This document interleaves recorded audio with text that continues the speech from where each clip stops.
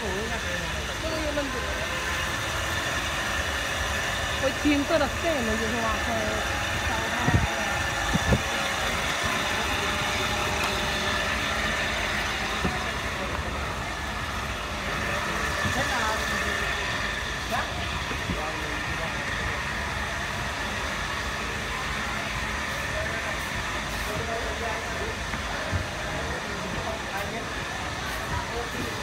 चाहिए मेरे को बोले मैं अरेंज करूँ वैसा